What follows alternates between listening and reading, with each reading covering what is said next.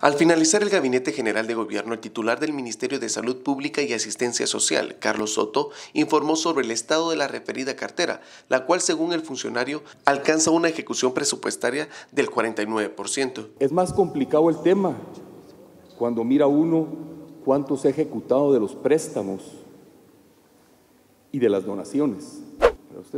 De los préstamos se ha ejecutado apenas el 22.15% de las donaciones el 13.5%. Los anticipos de la OMS que sirven para vacunas, los anticipos, solo el 23.36% y lo que el tema que se refiere a salud reproductiva, 0%. 0%.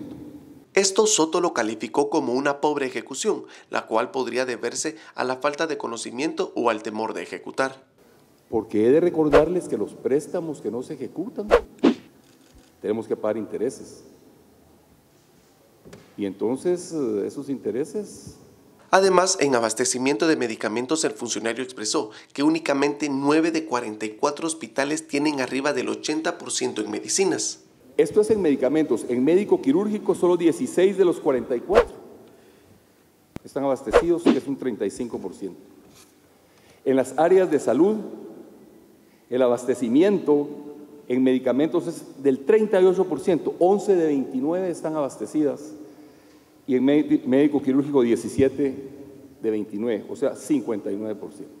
En solución a esta problemática, Carlos Soto manifestó que analizará el plan de trabajo de las últimas dos gestiones para unificarlo y darle prioridad a lo que es prioridad. Yo voy a priorizar, priorizar los tres niveles de salud y eso es básico para nosotros.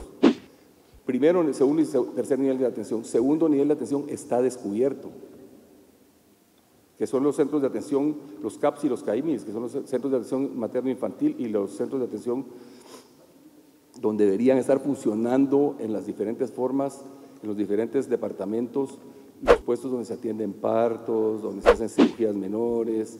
Eso no, no hay infraestructura para eso. Mire que es importante, se necesitan 27.500 enfermeras auxiliares para cubrir el territorio nacional. Es de importancia superar el acceso a la salud, ya que solo el 30% de la población cuenta con este servicio, concluyó. Para DCATV informó Noé Pérez.